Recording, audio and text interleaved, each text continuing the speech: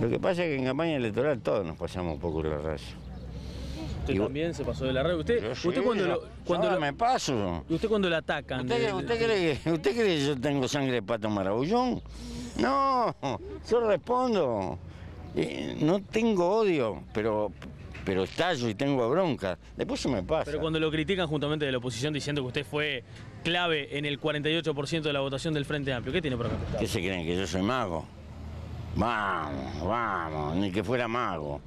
hay- ¿Sabe lo que es el 48%? No, no seas malo. Algunos dirigentes, incluso de la MPP, dicen que, dado el resultado que hay, no es necesario segunda vuelta, que podría bajarse el candidato de la oposición.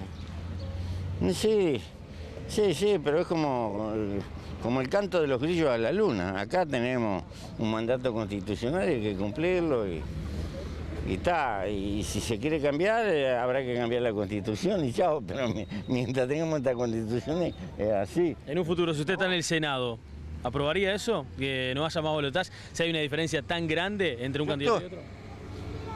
Yo estuve siempre contra el balotaje. Pero quedé en minoría y chao. Perdí.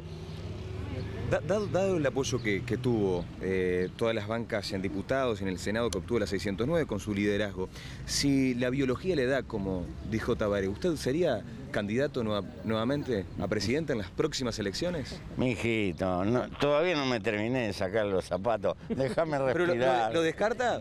¿O si se lo proponen y la biología le da, podría ser candidato nuevamente?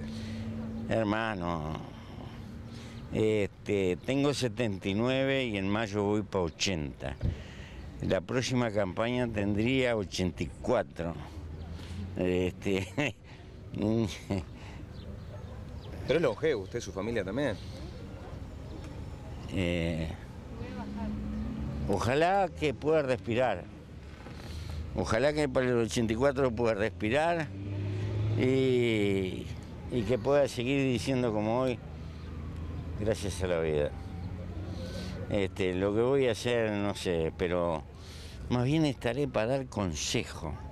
Esos consejos que dan los viejos que nadie le da pelota, ¿viste? Porque la gente aprende con lo que vive, no con lo que le dicen. Pero hay que cumplir ese papel.